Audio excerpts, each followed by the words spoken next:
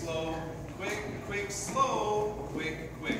So if you're used to muscling the follows, you might be able to get away with it on one, but it still doesn't feel nice, and it still is rushing. So really just give suggestions.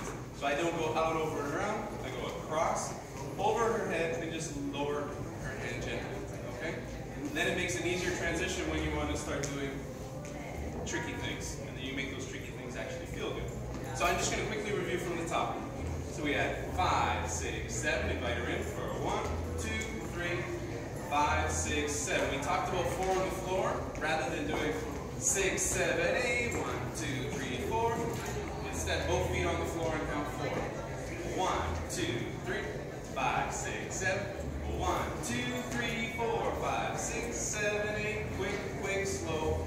Quick, quick, slow. And we went into a basic turn. Five, six, seven. One, two, three, five, six, seven. Up one, across two, over three. Five, six, seven. Then across the knee.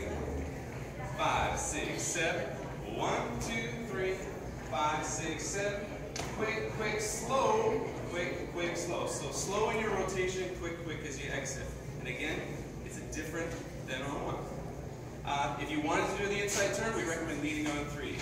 So we have one, two, three, five, six, seven. One, two, three, five, six, seven. So I just raise the hand, rotate the wrist on the count of three. And again, just really try to do your best at giving a suggestion. And on two, those slow counts generally tend to fall on this, the turns. So take your time, don't rush the ladies through those turns, okay? Uh, thank you so much. If you want to find us later on, we're not hard to find. We also teach online, thedancedojo.com. And if you're ever in Vancouver, look us up, Scarlett and Patrick. Thank you so much, everybody.